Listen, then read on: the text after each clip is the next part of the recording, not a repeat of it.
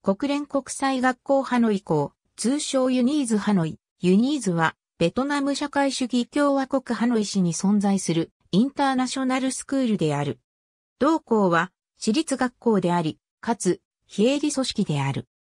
1988年に国連開発計画ベトナムの一環として、同国に駐在する国連職員の子供たちに教育を提供する場として設立された。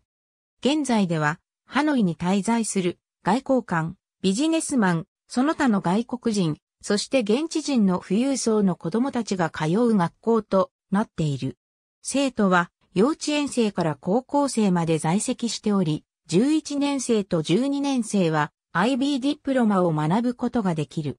ユニーズでは2016年10月現在、66の国籍からなる1124人の生徒が在籍している。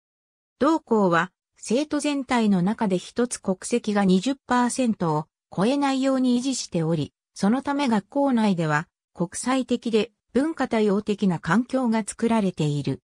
ユニーズでは27カ国からなる教師が在籍しており、そのうち88%はイギリス、アメリカ合衆国、オーストラリア、ニュージーランド、アイルランド、カナダ国籍を保有している。